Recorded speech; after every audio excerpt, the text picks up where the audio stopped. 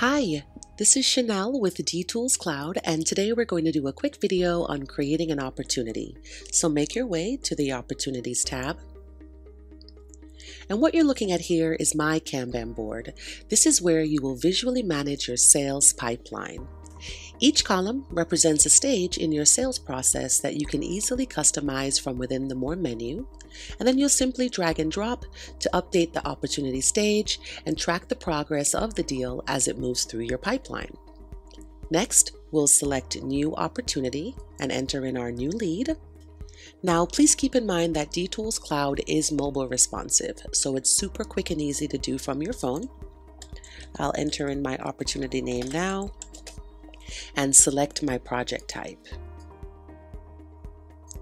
Now, if you don't see the project type you're looking for, simply create a new project type. Tracking this is an important data point because it feeds into your sales report revenue by project type. And this will help increase visibility into understanding and measuring your sales activity. Now, at this stage, we have already done enough to create a new opportunity and start quoting. However, I'm going to complete all the fields before moving on. So I'm going to enter in my client info and address.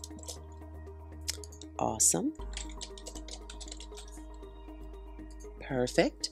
Now, estimated close date. We may not know the close date at this stage, but setting it to the end of the month is a good best practice. Budget. Finding this out can be tricky, but let's just say we're lucky enough to know that Axel has $20,000 to spend and it's a 5,000 square foot cabin. Now, the main benefit of filling in this field is we'll show you your price and profit by square foot. Another benefit is that area can be used with calculated allowances, an item in your catalog, so very cool feature. Now, lead source. Let's just say we got this lead from a referral, but please add your own lead sources because it's another data point that feeds into your sales report, revenue by lead source.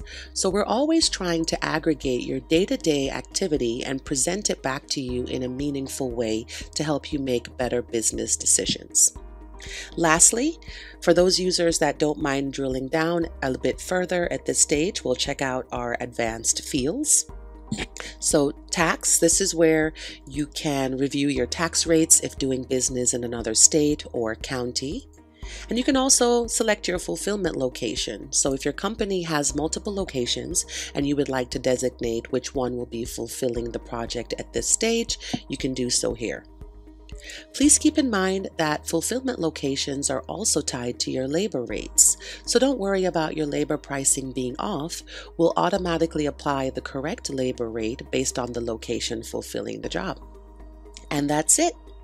At this stage, we can create and start quoting. You can create a new if entering multiple opportunities back to back, or you can simply create to continue to enter in more opportunity details for CRM. So that's what we did. And now we have successfully created a new opportunity and we're ready to move it on to the next stage. I hope that this quick video helps you understand a bit more about what we track and why we track it. Stay tuned for the next video and happy quoting.